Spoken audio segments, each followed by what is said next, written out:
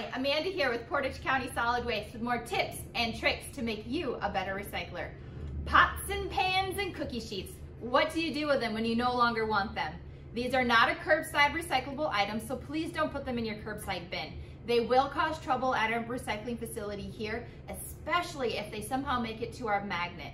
These can be recycled at a scrap metal dealer, so please take them to a drop off only. Otherwise, they do go in your trash can. Thank you for being a great recycler.